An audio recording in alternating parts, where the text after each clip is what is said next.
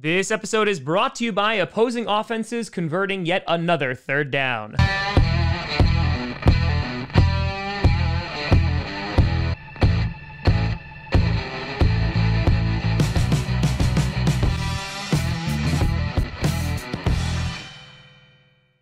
Grossi Posse Packer Nation. Welcome to another episode of Packast, the podcast where you don't have to be a Packers fan, but it sure does help. I'm your host, Tom. I feel like we've made this video three years in a row. I feel like we have. Grossi, and today, it's a time honored tradition here in the tail end of January to put out the video should the Green Bay Packers fire Mike Pettine? Before we get to that, I want to do a big shout and thank you to a brand new patron over at patreon.com slash Tom Comedy, and that is Matthew Aldana. A big shout out and thank you to you. And so, my friends, here we are yet again in the despair, in the hurt that is the Green Bay Packers losing yet another NFC championship game. And I know that maybe the sting has subsided a little bit since Sunday. And I know personally I'm not ready to talk about the offseason, but I am willing to talk about what we should do with Mike Pettine because this is a question that uh, I have asked and talked about for quite some time. And what's interesting about this particular season, considering how last season ended, in which the 49ers literally just ran the ball and won the NFC championship. Nothing crazy, just ran the ball, and we never adjusted there are many people, including myself, that are like, okay, well, fare thee well, Mike Pettine. However, that did not happen. But instead of being fired, Mike Pettine was given one last shot, or at least so it seemed. Now, originally, I wasn't like completely against this move because it was like, okay, 2018 came in, didn't get a great defense. 2019 improved. Now they also did get better personnel maybe we could give him one last shot and he could see what he could do with it. And that's when things get a tiny bit complicated because if you actually look at the numbers from year to year, Mike Pettine actually improves this team in a number of categories. Sure, they wind up falling off in some of the other categories, like, for example, turnovers, but. I mean, he still put together a squad that was top 10 in yards allowed. And so the answer to this question becomes is it more the personnel or lack of personnel that is on the field, the lack of talent, or is it the coaching behind it? Or is it both? So let's get some basics down here. First of all, Mike Pettine's contract is actually up, so he wouldn't technically be fired. Instead, they just wouldn't re up his contract, which is a possibility. Now, the Packers this evening did fire special teams coordinator Shawn Mennenga, and so obviously, after a abysmal year of special teams, we were like, okay, yep, that's a problem. We can never have that happen ever again. So hopefully, we're going to wind up giving somebody a job who can, I don't know, make him at least top 25 because it's pretty damn bad. And so now questions are swirling. Are they going to wind up keeping Mike Pettine? And if you look at Mike Pettine and the things that always stand out as to why they would potentially fire him, a lot of it has to do with play calling, right? It's that soft zone coverage, the fact that on third downs we're playing so far off the receiver for whatever hell reason, which is just absolutely infuriating. And the other has been adjusting. In addition, Mike Pettine loves just calling three man rushes, even though they have guys like Za'Darius and Preston and Rashan Gary who are on that line, and of course a Kenny Clark, which is kind of mind boggling. And plus, we also have corners that can blitz as well. And before I dive into Mike Pettine's stats, I think it's also important to realize that while Ted Thompson was the GM, right, a lot of those first round picks were spent on defense, right? They were getting cornerbacks. You have guys like Quentin Rollins, who was a second round pick. You have Damarious Randall, who was a first round pick. Gutey went out and drafted Jaire Alexander and Josh Jackson back to back to try and fix that secondary. Gutey also went and got Darnell Savage, brought in Adrian Amos. And so there's been kind of this influx of talent that has been brought into the Packers, and some have worked and some haven't. But, right now, I think you have a good secondary, especially with guys like Amos and Savage, and of course, Jaire Alexander. The questions become about guys like Kevin King, who's also in a contract here, and I do not expect to be back with the Green Bay Packers. You have a play that occurred at the end of the first half in the NFC Championship game in which Kevin King was beat so badly by Scotty Miller, it was flat out embarrassing. Who do you place the blame on? Is that a Kevin King problem? Yes, because he was looking square at Tom Brady the entire time and then just looked like he was perpetually falling all the time.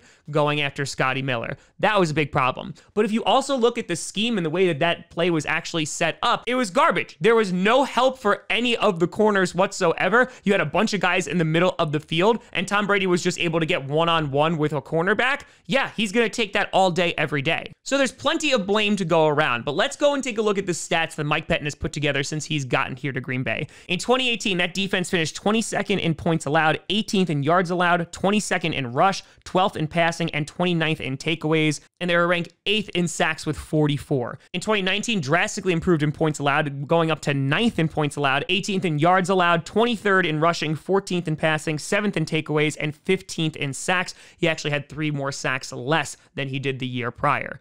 However, one of the big things to stand out from last year were the amount of pressures that we were getting, mostly due to the Smith brothers. And so we were getting after the quarterback, we were creating opportunities, and that's one of the reasons why we ranked top 10 in takeaways. Now, obviously, that season ended on a really, really sour note, so it was interesting to see what he was going to do this season. And taking a look at that, we were 13th in points allowed, so we regressed a tiny bit from last year. We were 9th in yards allowed, which is a great bump from 18 to 9. We were 13th in rushing, which is an improvement of 10 spots. We were 7th in passing, which is an improvement of seven spots. However, we went down to 26th in takeaways while also ranking 10th in sacks. However, we had the same number of sacks from last year to this year with 41. So besides going down a few notches in points allowed, we actually improved in yards allowed, rushing, and passing, while also not regressing in sacks. So if you look at this from a bird's eye view, this actually looks pretty darn good and looks like you have near a top 10 defense for the year. Now, it is also known that that last month, the Packers played really, really good defense. They were stopping the run. Obviously, look at like that Derrick Henry game with the Titans.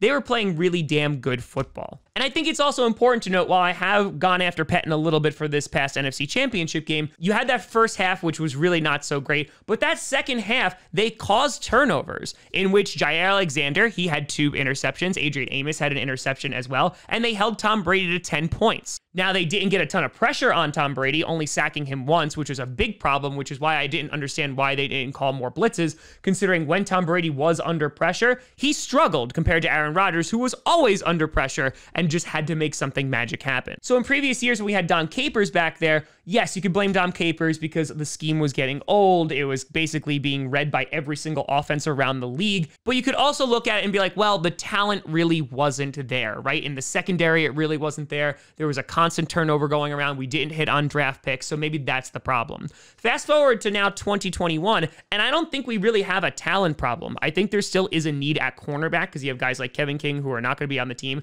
and guys like Josh Jackson who are a healthy scratch, who a former second rounder and just has not developed into the player we wanted him to be. But you see the development of guys like Rashan Gary, obviously the domination of a guy like Kenny Clark, and a really good secondary that's consisted of guys like Alexander and Savage and Amos.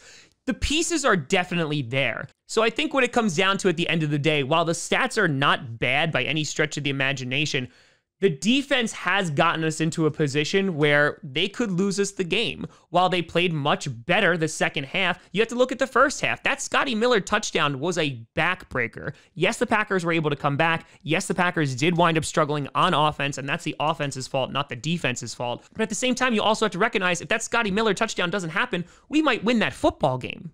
So I think the Packers have to ask themselves are they okay with a statistically good defense? However, in clutch times, adjustment is a problem and play calling is a problem for Mike Pettine, and it could cost us the game. And that's what I think it's going to come down to. If you were just looking at the stats, I don't think Mike Pettine actually gets fired and they wind up extending him.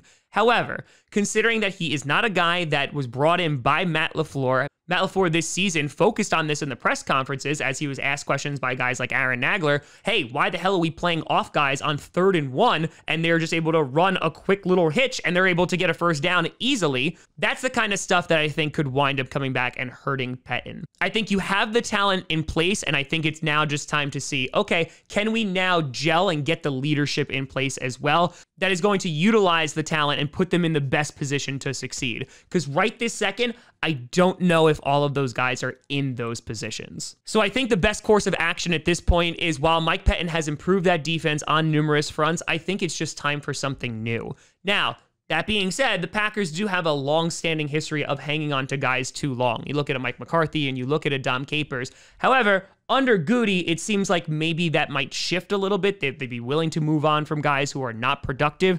And I think at this point, Mike Pettine has kind of almost fallen into that category. So over the next few days, I wouldn't be surprised if you wind up hearing that Mike Pettine is not going to have his contract renewed by the Green Bay Packers. There is a chance that he does wind up staying, but I mean, if you're Brian Gutekunst and Matt LaFleur, have you seen everything that Mike Pettine has to offer? Unfortunately, I think the answer is yes. But let me know what you think down in the comments below. You can always find me at TomGrossiComedy.com or at TomGrossiComedy, all social media see down below. Check out podcasts on SoundCloud, iTunes, Google Play Music, Spotify, and of course YouTube. And a big shout and thank you to all the patrons over at patreon.com slash TomGrossiComedy and the YouTube members. But thank you so much for watching. I'm Tom Grossi. And as always, go pack go.